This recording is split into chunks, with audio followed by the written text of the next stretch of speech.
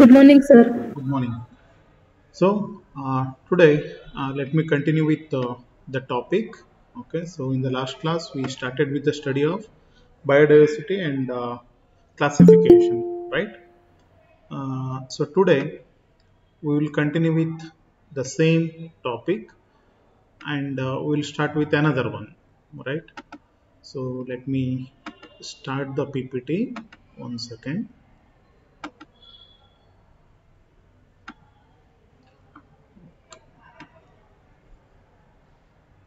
Fine.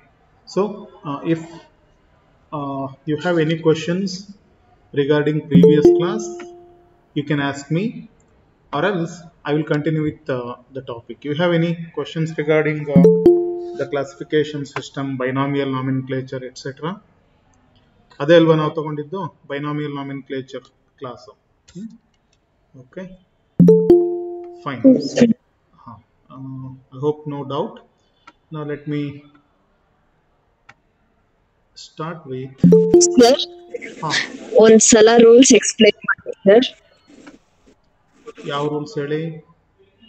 Binomial ನಾಮಿನ್ಕ್ಲೇಚರ್ದ actually see the rules are many yes sir ಹಾ so ನೀವು as a student you need to remember only few so basically ಯಾವ್ಯಾವುದು ಅಂದ್ರೆ ಆ, ಒಂದು the name should be in two parts okay so the first part must represent genera and the second part must represent the species okay and the uh, first uh, the genera and species names must be uh, the names must be uh, taken from latin language or they must be latinized so this is another condition and uh, the third condition next one is the generic name and species name must be written separately with a space ಈಗ homo sapiens ನ continuous ಬರೆಯೋ ಆಗಿಲ್ಲ homo space ಬಿಟ್ಟು sapiens ಅಂತ ಬರಿಬೇಕು ಆಮೇಲೆ generic ನೇಮ್ದು first letter capital ಇರಬೇಕು ಸ್ಪೀಸೀಸ್ ನೇಮ್ದು ಫಸ್ಟ್ ಲೆಟರ್ ಯಾವಾಗಲೂ ಸ್ಮಾಲ್ ಇರಬೇಕು. ಆಮೇಲೆ ಪ್ರಿಂಟೆಡ್ ಇರುವಾಗ both generic name and species name ಅಂದರೆ ಸೈಂಟಿಫಿಕ್ ನೇಮ್ನ ಇಟ್ಯಾಲಿಕ್ಸ್ನಲ್ಲಿ ಟೈಪ್ ಮಾಡಬೇಕು. ನೀವು ಹ್ಯಾಂಡ್ ರೈಟಿಂಗ್ನಲ್ಲಿ ಬರೆಯೋದಾದ್ರೆ ಜನರಿಕ್ ನೇಮು ಮತ್ತು ಸ್ಪೀಸೀಸ್ ನೇಮ್ನ ಸಪ್ರೇಟಾಗಿ ಅಂಡರ್ಲೈನ್ ಮಾಡಬೇಕು. Okay so these are the things you just remember but let me tell you the rules are many ಎಷ್ಟು ಅಂದ್ರೆ, ಈಗ ಒಂದು ಹೊಸ ಎನಿಮಲ್ನ ಕಂಡಿಡಿದಾಗ ಅದಕ್ಕೆ ಹೆಸರು ಕೊಡಬೇಕು ಅಂದ್ರೆ ಏನೇನು ರೂಲ್ಸ್ ಫಾಲೋ ಮಾಡಬೇಕು ಅಂತ ಒಂದು ದೊಡ್ಡ ಲಿಸ್ಟ್ ಇದೆ. It's a very big list okay so there are so many things ನಮ್ಗೆ ಹೆಂಗ್ ಬೇಕೋ, ನಮ್ಗೆ ಯಾವ್ದು ರೀತಿ ಬೇಕೋ ಆ ರೀತಿ name ಇಡಕ್ಕಾಗಲ್ಲ. So there are rules and regulations but the rules I told you are just basic rules which a science student must know so uh, those are the rules okay you read them again ನಾನು notes ಇನ್ನೂ share ಮಾಡಿಲ್ಲ share ಮಾಡ್ತೀನಿ but still if it is confusing we can discuss it okay I hope that is clear okay so if any other question i can answer otherwise uh, let me continue with my class i hope my presentation is visible ಕಾಣ್ತಾ ಇದೆಯಲ್ವಾ slide Yes, sir. ah okay sir so today let us uh, continue with Yes, sir. huh okay so species concept uh, Sir, principles, ಹಾ ಹೇಳಿ principles of animal classification ಒಂದ್ಸತಿ explain ಮಾಡಿ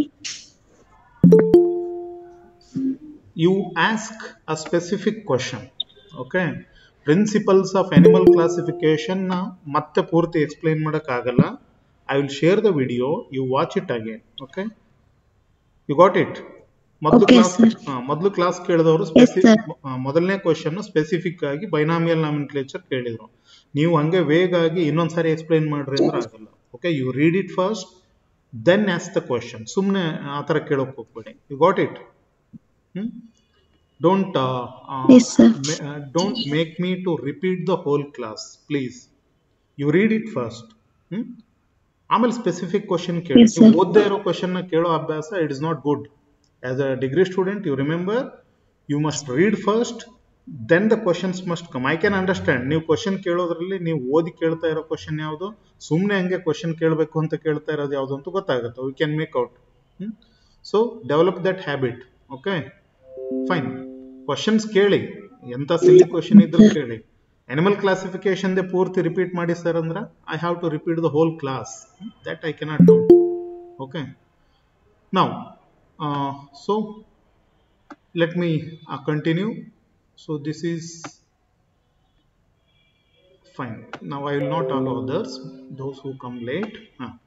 now let us continue with the species concept Uh, in the last class we studied how do how to name uh, the organisms with a scientific name. Now today let us continue with species concept and uh, let us start with the study of phylum protozoa.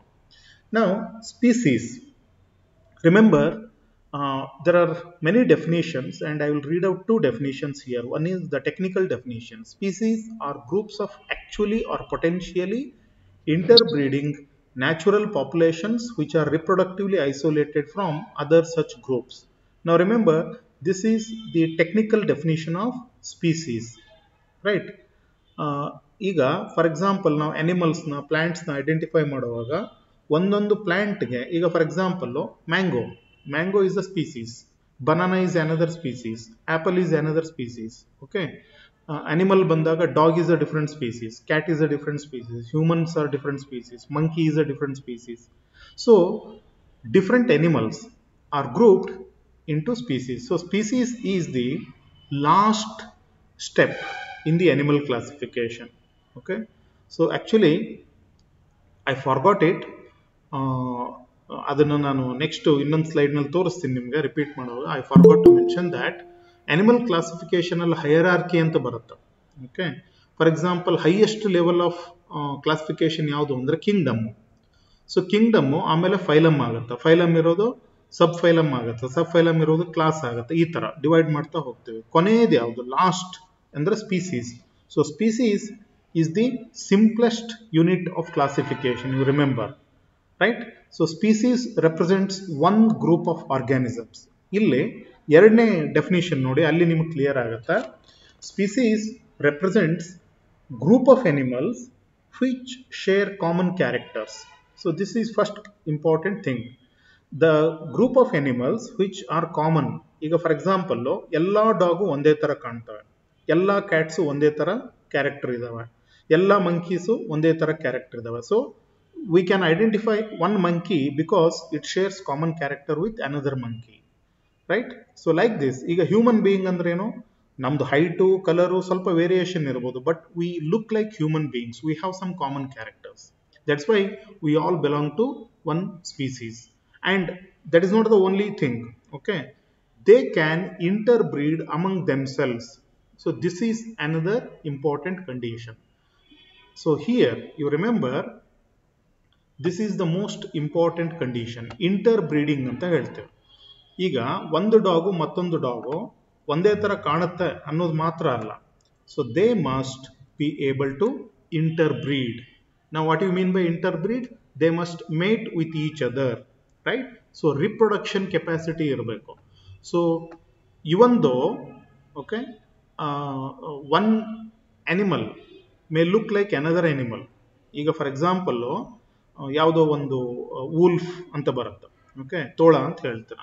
ಇನ್ನೊಂದು dog ಬರುತ್ತೆ. So they are two different species ಒಂದೊಂದು ಸಾರಿ confusion ಆಗುವಷ್ಟು ನೋಡೋದಕ್ಕೆ ಒಂದೇ ಥರ ಇರ್ತವೆ. Wolf and dogs may look same you cannot tell them uh, you cannot uh, say that they belong to the same species. Why? Because they cannot interbreed. So ಹಾಗಾದ್ರೆ species ಅಂತ ಹೇಳಬೇಕು ಅಂದ್ರೆ ಮೊದಲನೇ ಕ್ಯಾರೆಕ್ಟ್ ಮೊದಲನೇ ಕಂಡೀಷನ್ ಏನು ಅಂದ್ರೆ they must have common characters ಎರಡನೇ condition they must be able to interbreed among themselves and the third and most important condition is after interbreeding they must be able to produce a fertile offspring okay so interbreeding ಆದಮೇಲೆ ಅವು ಒಂದು fertile ಆಫ್ ಸ್ಪ್ರಿಂಗ್ನ produce ಮಾಡುವಂಥ capacity ಇರಬೇಕು. So that is how we can identify the species so species means group of organisms ಇಲ್ಲಿ ನಾನು animals ಅಂತ ಹಾಕಿದ್ದೀನಿ because we are restricting ourselves to the animals but it's common definition group of organisms which share common characters, which can interbreed among themselves and produce a fertile offspring. So let me explain this with exam with the example of one very beautiful uh, uh, case. Okay, so here you can see two animals. Actually, there are three animals here, right? So I hope you can see on the on this side. Okay, actually on my left, I can see horse. So this is horse, tall, right? On the other side, you can see another animal called donkey. So horse and donkey may have some common characters, right? So ನೀವು ಬರೀ text ಬುಕ್ನಲ್ಲಿ ಅಥವಾ ರೈಟಿಂಗ್ನಲ್ಲಿ ಬರೀತಾ ಹೋದ್ರೆ ಅದಕ್ಕೆ ನಾಲ್ಕು ಕಾಲು ಇರುತ್ತೆ ಒಂದು ಬಾಲ ಇರುತ್ತೆ ಎರಡು ಕಿವಿ ಇರುತ್ತೆ ಮೈ ಮೇಲೆ ಹೇರ್ ಇರುತ್ತೆ ಅಂತ ಹೇಳ್ತಾ ಹೋದ್ರೆ it appears as if they have common characters, right? But actually, there are two different species, right? So there are two different species. What is the name of the species? Uh, let us see. The scientific name of horse is Equus caballus and the scientific name of donkey is Equus asinus. You can see here both horse and donkey belong to the same genus but they are two different species. What is the species of horse? Cabalus. what is the species of uh, donkey? Asinus. Okay. Now horse one horse and another horse they share common character.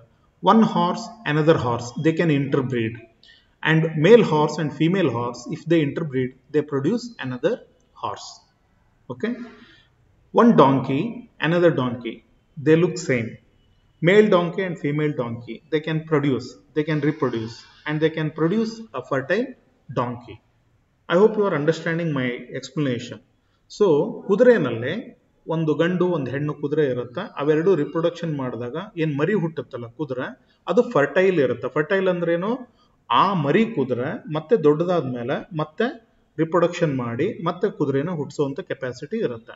So such offsprings we call them as fertile offspring ಕತ್ತೆನಲ್ಲೂ ಅಷ್ಟೇ okay so because of this horse is a different species and donkey is a different species but remember in nature what happens sometimes there will be a mating between the horse and donkey.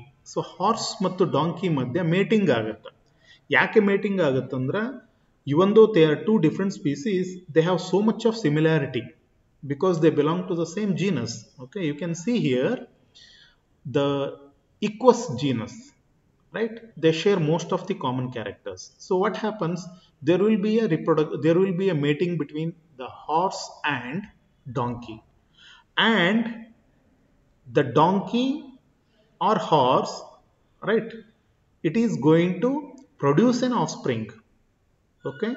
So it will produce an offspring and the offspring is neither a donkey nor a horse. It is going to be called as mule okay? So this one we call it as mule. Now can anybody tell me what is a mule right? Sterile okay that is sterile sterile ಆಗಿರುತ್ತೆ sir ಅದು. What is the Kannada name for that ಕನ್ನಡದಲ್ಲಿ ಏನಂತ ಹೇಳ್ತಾರೆ ಮ್ಯೂಲ್ಗೆ yes ಯಾರು sterile.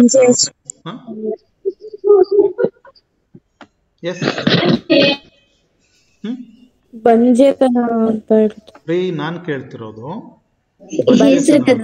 I am asking you the name mule ಇದೆಯಲ್ಲ ಮ್ಯೂಲ್ಗೆ ಕನ್ನಡದಲ್ಲಿ ಏನಂತಾರೆ ಅಂತ ಹೇಳ್ತಿದ್ದಾರೆ. ಹಾರ್ಸ್ ಅಂದ್ರೆ ಕುದುರೆ ಡಾಂಕಿ ಅಂದ್ರೆ ಕತ್ತೆ. ಸರ್ ಕನ್ನಡ ಇಲ್ಲ. ಸರಿ ಹೆಸರುಗತ್ತೆ ಸೊ ಕನ್ನಡದಲ್ಲಿ ಅದಕ್ಕೆ ಹೇಸರಗತ್ತೆ ಅಂತ ಕರೀತಾರೆ. ನಿಮ್ಗೆ ಅಷ್ಟೊಂದು ಪರಿಚಯ ಇಲ್ಲ ಅದು ಹೇಸರಗತ್ತೆ ಅಂತ ಹೇಳ್ತಾರೆ. ಓಕೆ ನಾವು this mule okay this mule ಯಾರೋ ಹೇಳಿದ್ರಲ್ಲ ಹೇಸರಗತ್ತೆ ಅಂತ? ಸೊ ಈ ಹೇಸರಗತ್ತೆದು ಏನ್ ಕ್ಯಾರೆಕ್ಟರ್ ಅಂದ್ರ this is you cannot give any species name to this ಯಾಕೆ ಅಂದ್ರೆ, ಇದು ಸ್ಟರೈಲ್ ಇರುತ್ತೆ.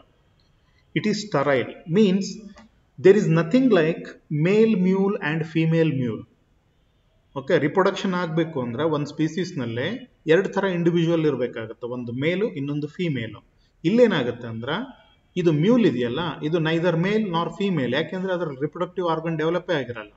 So therefore you cannot identify whether it is male or female therefore it cannot reproduce right so ಹಾಗಾದ್ರೆ ಒಂದು ಮ್ಯೂಲು ಬರ್ತ್ ಆಗಬೇಕು ಅಂದ್ರೆ ಅದು ಹಾರ್ಸ್ ಮತ್ತು ಡಾಂಕಿ ಮಧ್ಯ ರಿಪ್ರೊಡಕ್ಷನ್ ಮೇಟಿಂಗ್ ಆದಾಗ ಮಾತ್ರ ಸಾಧ್ಯ.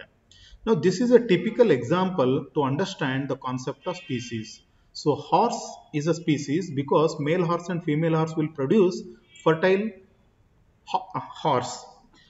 Donkey is a species because male donkey and female donkey can produce a fertile donkey, whereas mule is not a species because it is produced by a horse and donkey, and mule cannot produce its own offspring.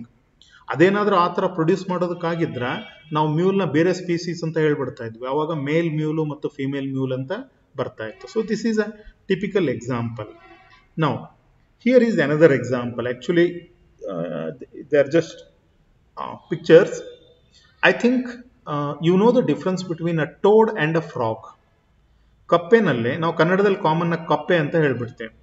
ಆದ್ರೆ ಅದರಲ್ಲಿ ಎರಡು ಥರ ಇದೆ. ಒಂದು toad ಇನ್ನೊಂದು frog ಅಂತ. I don't know how many of you know okay can anybody tell me what is the difference between a frog and a toad ಕನ್ನಡದಲ್ಲಿ ಹೇಳಕ್ ಹೋಗ್ಬೇಡಿ. ಇದು ಕನ್ನಡ ಬೇಕಾಗಿಲ್ಲ. ಕನ್ನಡದಲ್ಲಿ ನಾನೇ ಹೇಳಿದ್ದೀನಿ. ಫ್ರಾಗ್ ಅಂತ. ಸರ್ ಅಂದ್ರೆ? ಹಾ. ಹೇಳಿ. ಸರ್ ಅಂದ್ರೆ ಫ್ರಾಗು ಹ್ಮ್. ನೀರ್ ಮೇಲಿರುತ್ತೆ ನೆಲದ ಮೇಲಿರುತ್ತೆ. ಹ್ಮ್. ತೋಡ್ ಬಂದು ಗೋಡೆ ಮೇಲೆಲ್ಲ ಹತ್ತುತ್ತೆ. ಜಿಗಿಯುತ್ತೆ ಅದು ಫ- ತುಂಬಾ ಎತ್ತರಕ್ಕೆ ಜಿಗಿಯುತ್ತೆ ಅದು. ಗೋಡೆ ಮೇಲೆ ಹತ್ತುತ್ತಾ? ಓಕೆ ಹಾ. ಮತ್ತೆ ಎನಿಬಡಿ ಸರ್ ಫ್ರಾಕ್ಸಿಗೆ ಲಾಂಗ್ ಲೆಗ್ಸ್ ಇರುತ್ತೆ. ಹ್ಮ್. ಫ್ರಾಗಿಗೆ ಅಥವಾ ಟೋಡ್ಗೆ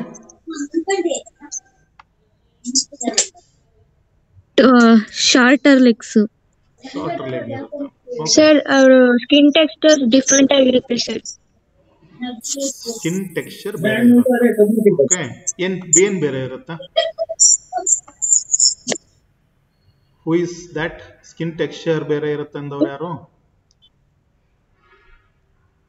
ಸರ್ ಅಂದ್ರೆ ಎನ್ವೈರನ್ಮೆಂಟ್ಗೆ ಅವರು ಅಡ್ಜಸ್ಟ್ ಆಗೋ ಟೈಪ್ಸ್ ಡಿಫ್ರೆಂಟ್ ಆಗಿರುತ್ತೆ ಅಂತ sir see one thing I want to make it clear why you make it so complicated skin texture ಬೇರೆ ಇರುತ್ತೆ ಅಂದ್ರಲ್ಲ ಅದನ್ನ ಸಿಂಪಲ್ ಆಗಿ ಹೇಳಿ ಸ್ಕಿನ್ ಟೆಕ್ಸ್ಚರ್ ಏನ್ ಬೇರೆ ಇರುತ್ತೆ? You don't use sir frogs oily ಇರುತ್ತೆ ಫ್ರಾಕ್ಸ್ ಸ್ಮೂತ್ ಅಂಡ್ ಸ್ಲಿಮ್ ಆಗಿರುತ್ತೆ ಆಯಿಲಿ ಇರುತ್ತೆ. ಟೋಟ್ಸ್ ಟು ಡ್ರೈ ಮತ್ತೆ ರೋಟರಿ ಸ್ಕಿನ್ ಇರುತ್ತೆ. That's what I wanted right very simple and don't make it complicated life is already complicated um I right okay so make it very simple now that is the correct answer right so frog ಮತ್ತು toad ಮಧ್ಯೆ ವ್ಯತ್ಯಾಸ ಇರೋದ್ರೆ skin I think I have put the picture here okay forgot to put that picture because I prepared the P just few minutes before the class so ಇಲ್ಲಿ toad ಏನಿದೆಯಲ್ವಾ ಟೋಡ್ದು skin I think ನಾವು I will paste it then you will understand ಕನ್ನಡದಲ್ಲಿ problem ಏನು ಅಂದ್ರೆ, ಎರಡಕ್ಕೂ ನಾವು ಕಪ್ಪೆ ಅಂತ ಹೇಳ್ಬಿಡ್ತೀವಿ. ಆದರೆ ಇಂಗ್ಲೀಷ್ನಲ್ಲಿ ಎರಡು ಸಪ್ರೇಟ್ ವರ್ಡ್ ಇದಾವೆ. ಒಂದು ಫ್ರಾಗು ಇನ್ನೊಂದು ಟೋಡ್ ಅಂತ. ನಾವು you can see here okay I hope ನಾವು you can see the picture ನಿಮ್ಗೆ ಕಾಣ್ತಿದೆಯಲ್ವಾ? ನಾವು you can see it on the screen ಲೆಫ್ಟ್ಗೆ ಇರೋದು ಫ್ರಾಗ್ ಅದು. ಸೊ ಯಾರೋ ಒಬ್ರು ಹೇಳಿದ್ರಲ್ವ, ಆ ಥರ ಫ್ರಾಗ್ದು ಸ್ಕಿನ್ ಏನಿದೆಯಲ್ಲ, ಅದು ಸ್ಲೈಮಿ ಇರುತ್ತೆ. We call it as slimy ಅಂದ್ರೆ ಮುಟ್ಟಿದ್ರೆ ಅಂಟಂಟ್ ಆಗುತ್ತಲ್ವ, ಆ ಥರ ಸೊ ದಿಸ್ ಈಸ್ ಫ್ರಾಗ್ ಆಮೇಲೆ ಇನ್ನೊಬ್ರು ಸ್ಟಾರ್ಟಿಂಗ್ ಹೇಳಿದ್ರಲ್ಲ, ಆ ಥರ ಅದು ಜಾಸ್ತಿ ನೀರಿನಲ್ಲಿ ಇರುತ್ತೆ, ಯಾವುದು? ಫ್ರಾಗು ಟೋಡ್ ಏನಿದೆಯಲ್ಲ, ಇದು ನೀರಿನಲ್ಲಿ ಇರೋದು ಕಡಿಮೆ. Okay it is normally found on the land and it skin skin is dry ಇದ್ರ ಸ್ಕಿನ್ ಡ್ರೈ ಇರುತ್ತೆ, ಆಮೇಲೆ ವಾರ್ಟಿ ಇರುತ್ತೆ. ವಾರ್ಟಿ ಅಂದ್ರೆ ಮೈ ಮೇಲೆ ಗುಳ್ಳೆ ಗುಳ್ಳೆ ತರ ಇರುತ್ತಲ್ಲ ಇದು.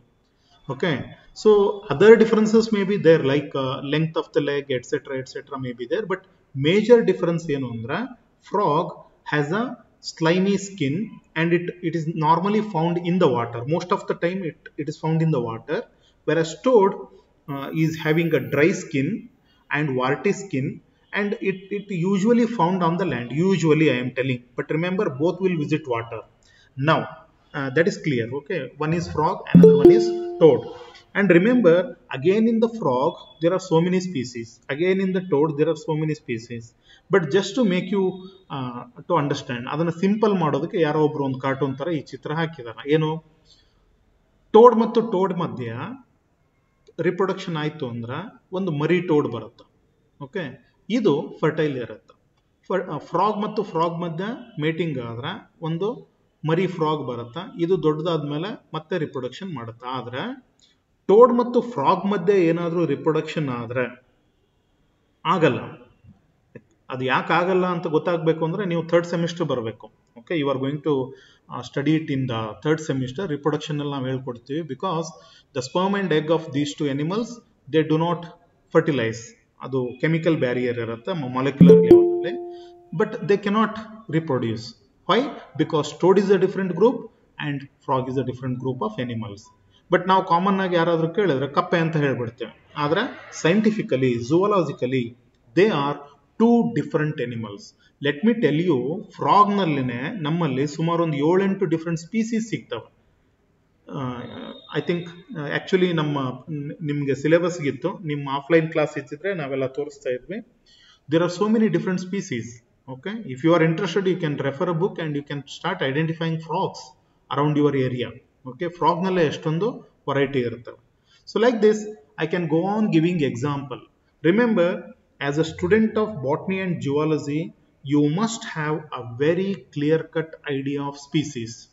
That's why I am taking so much of time just to explain species ಒಬ್ಬ ಜುವಾಲಜಿ ಮತ್ತು ಬಾಟ್ನಿ ಸ್ಟೂಡೆಂಟ್ಗೆ ಕ್ಲಿಯರಾಗಿ ಐಡಿಯಾ ಇರಬೇಕು ಸ್ಪೀಸೀಸ್ ಕಾನ್ಸೆಪ್ಟ್ ಓಕೆ ಎರಡು ಪ್ಲ್ಯಾಂಟ್ ಮಧ್ಯ ಸ್ಪೀಸೀಸ್ ಬೇರೆ ಯಾವುದು ಅಂತ ಗೊತ್ತಿರಬೇಕು, ಎರಡು ಎನಿಮಲ್ ಮಧ್ಯ ಸ್ಪೀಸೀಸ್ ಯಾವುದು ಅಂತ ಗೊತ್ತಿರಬೇಕು. So if you don't know the concept of species it's like a foundation right the whole building ನಿಮ್ದು ನೆಕ್ಸ್ಟ್ ಎನಿಮಲ್ ಬಗ್ಗೆ ಏನೇನು ಕಲಿತಿರೋ, ಆ ಸ್ಪೀಸೀಸ್ ಕಾನ್ಸೆಪ್ಟ್ ಸರಿ ಇಲ್ಲ ಅಂದ್ರೆ ಪೂರ್ತಿ ಕೊಲ್ಯಾಪ್ಸ್ ಆಗಿಬಿಡುತ್ತೆ ಆಮೇಲೆ. So therefore it is very necessary here I have shown the butterflies right for a common person all butterflies look alike okay they they they are almost same ಎಲ್ಲ ಬಟರ್ಫ್ಲೈನು ಒಂದೇ ಅಂತ ಹೇಳ್ತಾರೆ. But we know that okay? As a student of zoology, you know that they belong to different species. ಇಲ್ಲಿ ಮೂರು species ಇದಾವೆ.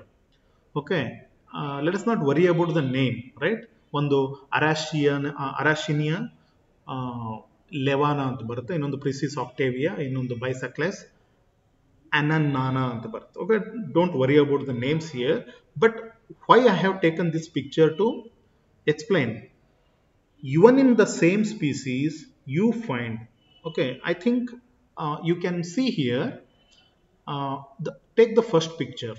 first picture. ಮೇಲೆ ಮತ್ತೆ ಕೆಳಗಡೆ ಏನಿದೆಯಲ್ಲ picture they show different coloration right they are different but they belong to the same species.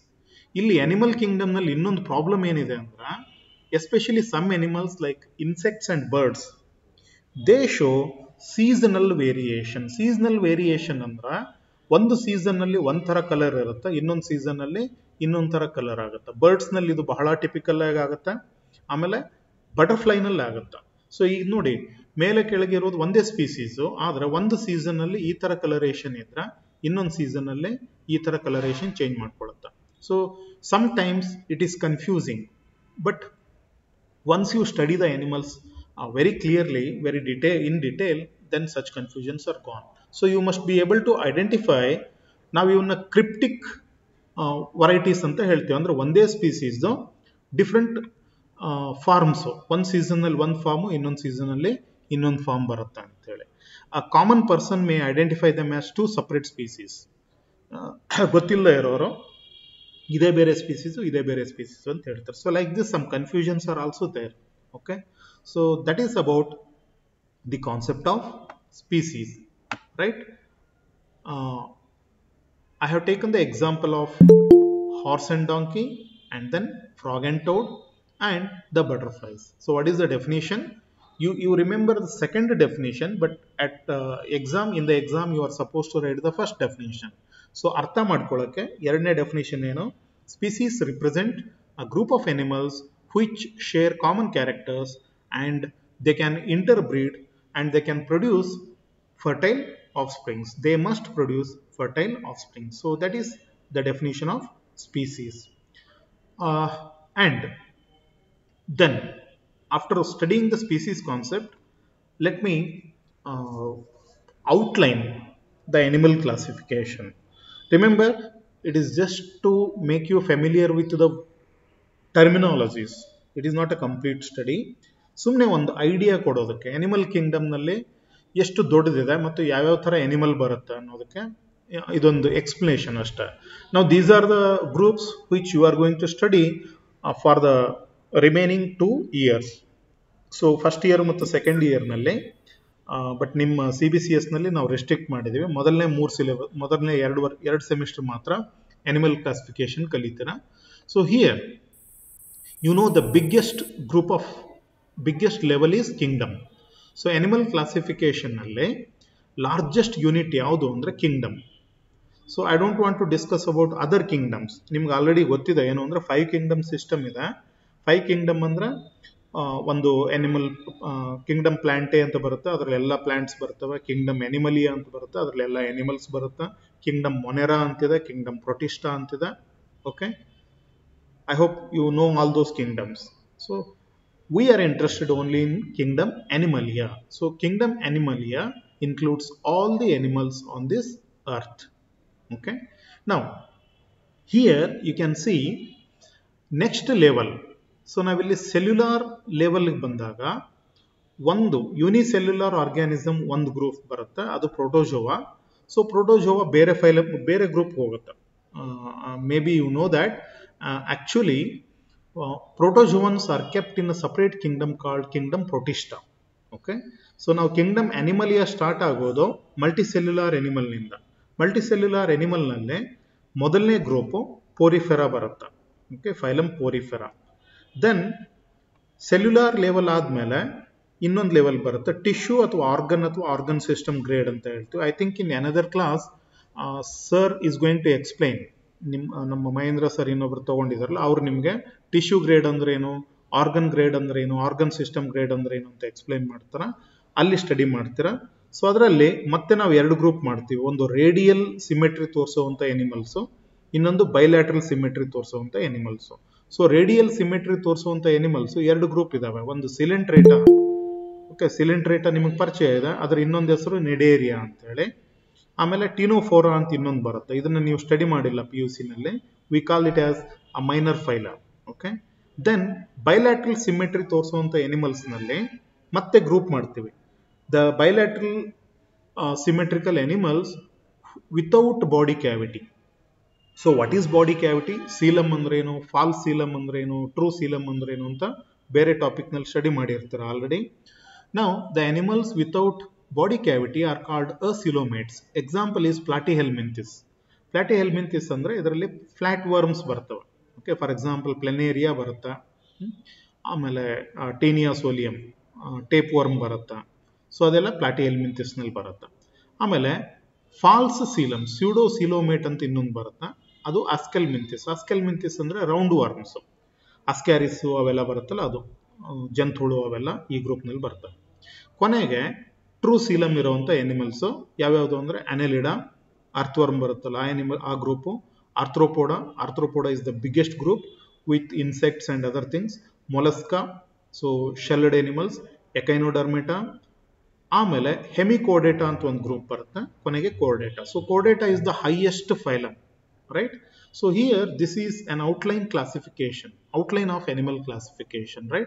Animal kingdom is divided into phylums, right? So phylum Porifera, phylum Cylindrata, phylum uh, Platyhelminthes, Ascalminthes, Annelida, Arthropoda, Mollusca, Echinodermata, Hemichordata and Chordata. So Chordata is the most advanced group of animals and Porifera or Protozoa is the most primitive group of organisms. So this is uh, just to show you the outline of animal classification. So before uh, I can ask you some questions, let me show you another slide here. I don't know whether it is uh, clearly visible or not.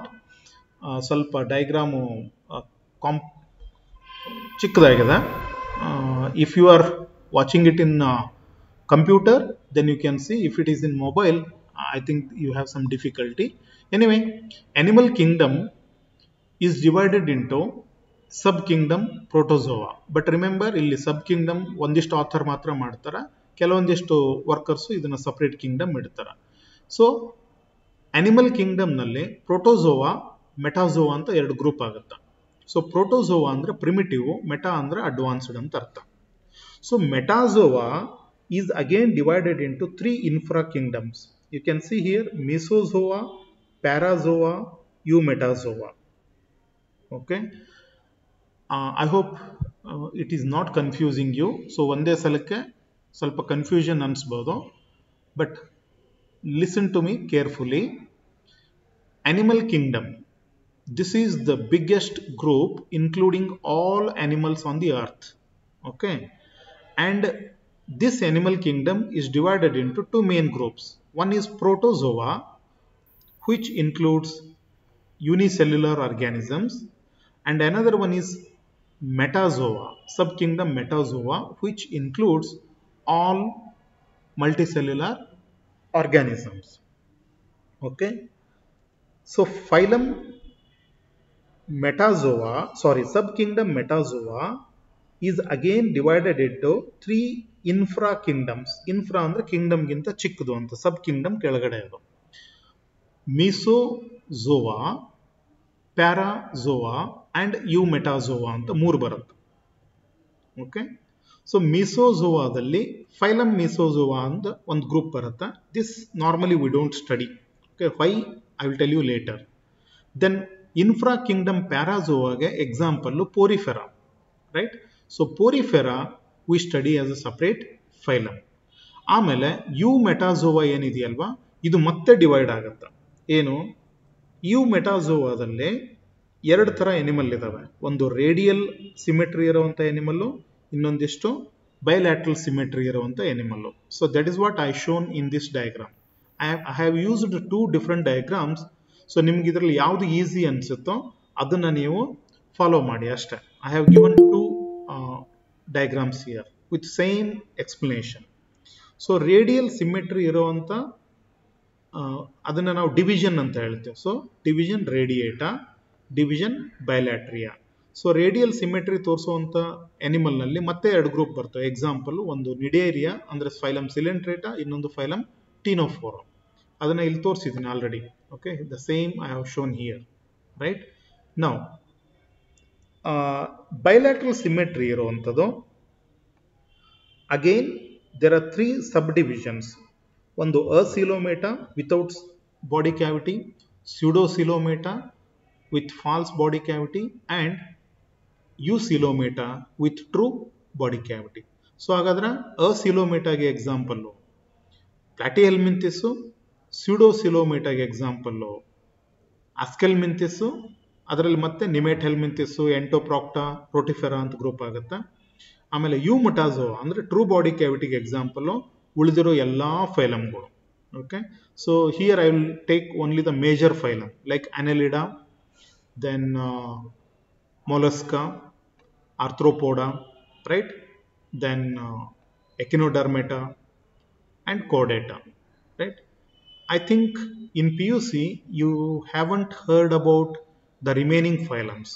ನಿಮ್ಮ P U ಸಿನಲ್ಲಿ ನೀವು ನೀವು ಕಲ್ತಿರೋ phylum ಯಾವ್ಯಾವುದು ಅಂದರೆ, phylum protozoa, porifera, coelenterata platyhelminthes aschelminthes arthropoda annelida, mollusca, echinodermata, phylum ಕೋಡೇಟಾ, ಇಷ್ಟೇ ನೀವು ಕಲ್ತಿರೋದು. So ಇದನ್ನು ನಾವು ಈ ಇವನ್ನ ಮೇಜರ್ ಫೈಲಮ್ ಅಂತ ಹೇಳ್ತೇವೆ ಇಲ್ಲಿದೆ ನೋಡಿ ಯಾವುದು? ಈಗ for example, phylum nemertinea, phylum entoprocta phylum rotifera, phylum gastrotricha, phylum kynotricha, phylum nematomorpha, phylum acanthocephala, okay, phylum ectoprocta, phylum foronida. I think you, you, you haven't heard about these phylums. We call these as minor phyla because they represent very small group of animals with limited number of species. Hmm? Okay, so this is the outline of animal kingdom so animal kingdom though is the outline classification okay now uh, before i move on to the next topic right so i would like to ask you if you have any doubts regarding this outline classification outline classification ಬಗ್ಗೆ ಏನಾದರೂ doubt ಇದೆಯಾ I hope it is clear initially confusion ಅನ್ಸುತ್ತೆ but ನಾನು notes share ಮಾಡ್ತೀನಲ್ಲ ಅದರಲ್ಲಿ ಆ diagram ಇದೆ. ಆ ಡೈಗ್ರಾಮ್ನ ನೀವು ನೀಟಾಗಿ ಇನ್ನೊಂದ್ಸರಿ ಸ್ಟಡಿ ಮಾಡಿದಾಗ ಕನ್ಫ್ಯೂಷನ್ನು ಕ್ಲಿಯರ್ ಆಗುತ್ತೆ. Okay you have any doubt regarding the outline classification of animals only outline Nirmita, you have any question?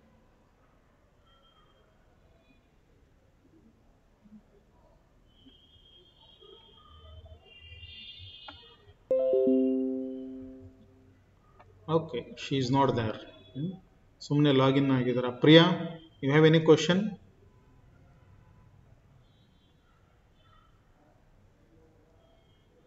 No, sir. Fine. I just want to know whether you are there or not. Hmm? Muskan, Yes, sir. you have a question? You have any question? Any doubt? No, sir.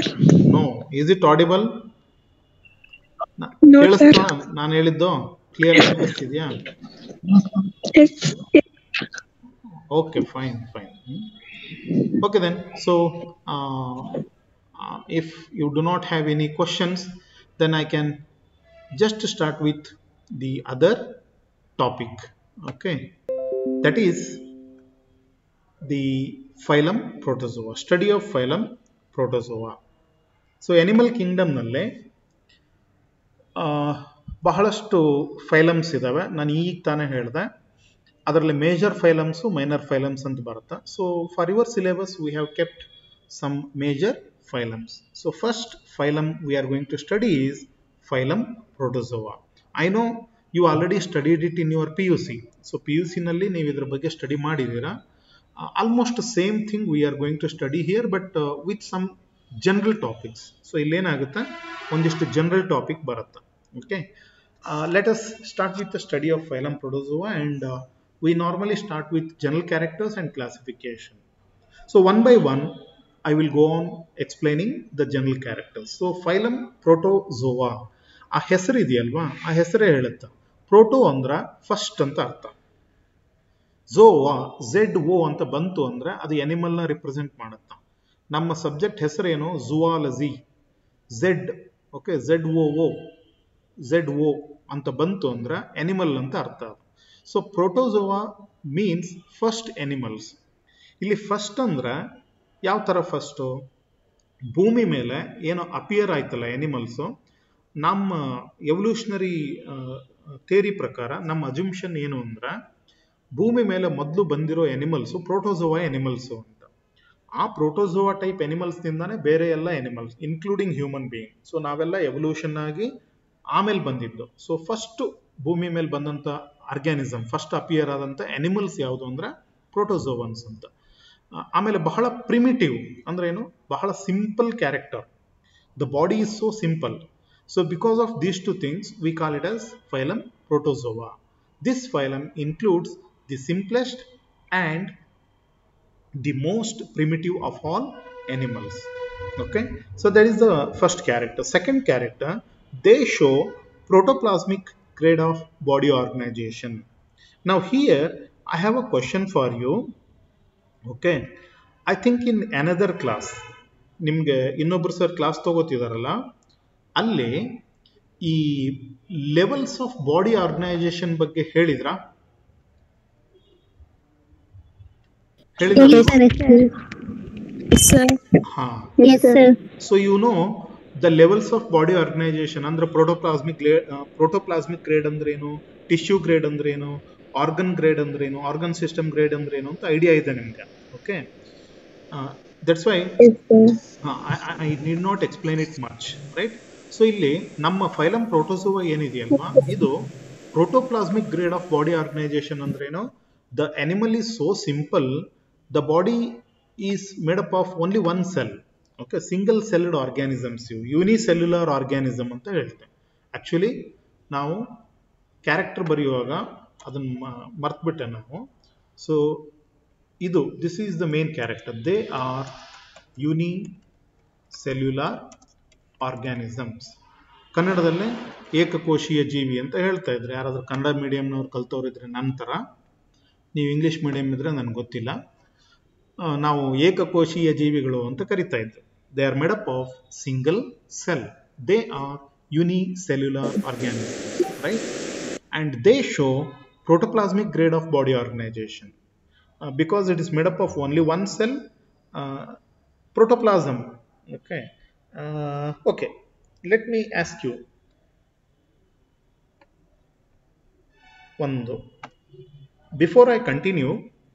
one will make it very clear. ನನ್ನ ಕ್ಲಾಸ್ನಲ್ಲಿ general character ಹೇಳುವಾಗ normally I take lot of time for few characters okay ಒಂದೊಂದು character explain ಮಾಡೋದಕ್ಕೂ ನಾನು ಬಹಳಷ್ಟು time ತಗೋತೀನಿ. ನೀವೇನಾದರೂ regular college ಬಂದಿದ್ರೆ ನಿಮ್ಗೆ ಗೊತ್ತಾಗ್ತಾ ಇತ್ತು. ನಾನು ಫೈಲಮ್ ಪ್ರೋಟೋಸೋವಾದಲ್ಲಿ ಬರೀ ಮೂರು ಕ್ಯಾರೆಕ್ಟರ್ ಎಕ್ಸ್ಪ್ಲೈನ್ ಮಾಡೋದಕ್ಕೆ ಒನ್ ಅವರ್ ಟೈಮ್ ಬೇಕು ಓಕೆ ಯಾಕೆ ಅಂದ್ರೆ ಒಂದು ಕ್ಯಾರೆಕ್ಟರ್ನ ಒಂದ್ಸರಿ ಅರ್ಥ ಮಾಡಿಕೊಂಡ್ರೆ ಎಲ್ಲ ಗ್ರೂಪ್ನಲ್ಲೂ ಅದೇ ಥರ ಮೀನಿಂಗ್ ಇರುತ್ತೆ. Okay so if you understood one word once then it becomes very clear for example ಈಗ protoplasmic grade of body organisation ಅನ್ನೋದು ಒಂದ್ಸರಿ ನಿಮ್ಗೆ ಗೊತ್ತಾಗ್ಬಿಟ್ರೆ ನೆಕ್ಸ್ಟ್ ಎಲ್ಲ ಫೈಲಮ್ನಲ್ಲಿ ಬೇರೆ ಯಾವುದಾದ್ರೂ ಫೈಲಮ್ನಲ್ಲಿ ಅಥವಾ ಮತ್ತೆಲ್ಲೋ ಒಂದು ಕಡೆ ಬಂದರೆ ಮತ್ತೆ ಎಕ್ಸ್ಪ್ಲೇನ್ ಮಾಡೋ ಅವಶ್ಯಕತೆ ಇರಲ್ಲ.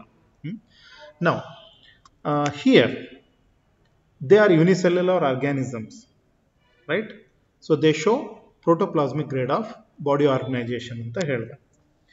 ಈಗ ಒಂದು ನಿಮಿಷ.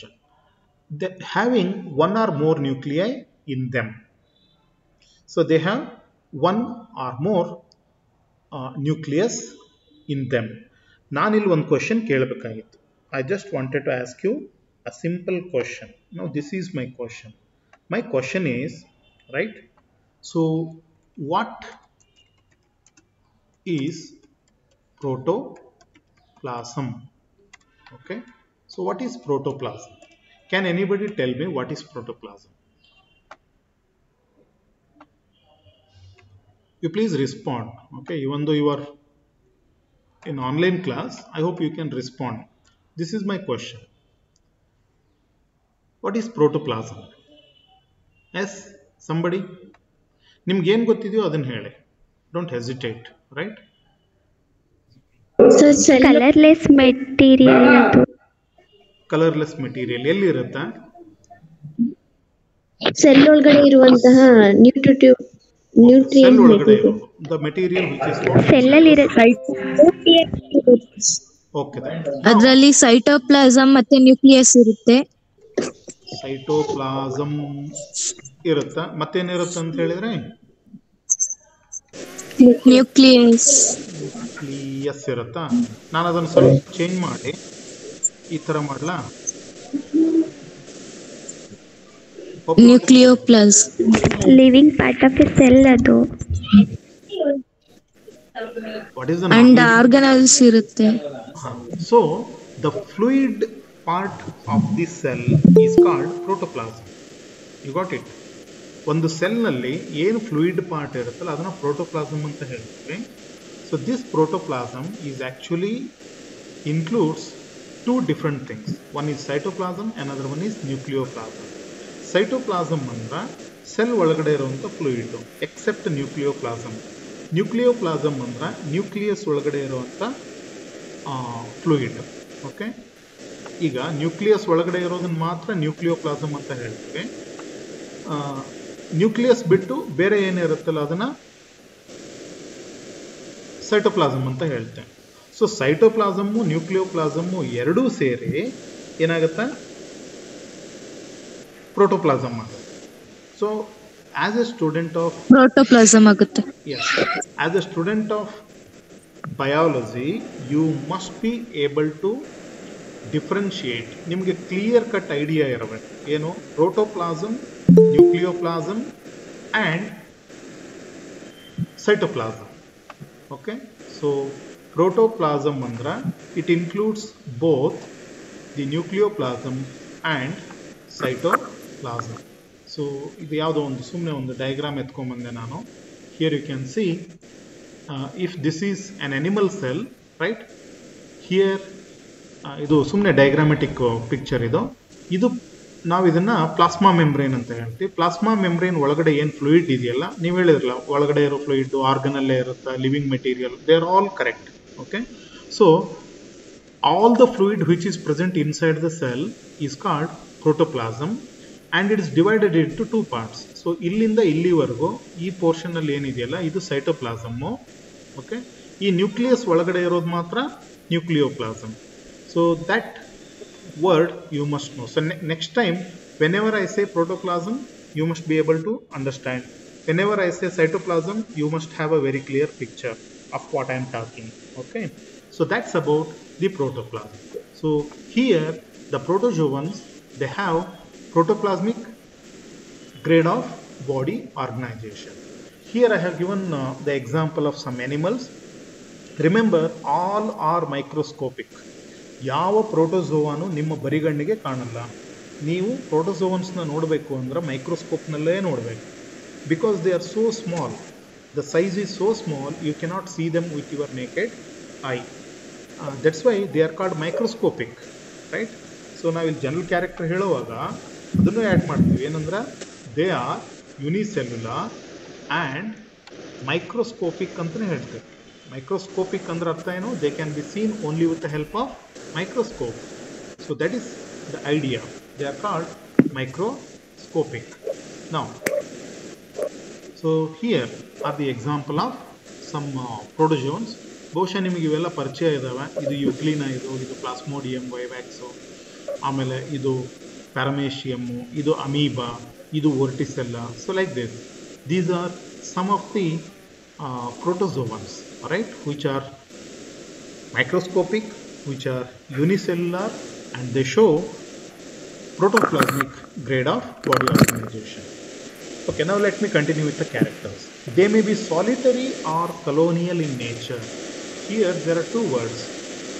One is solitary, another one is colonial.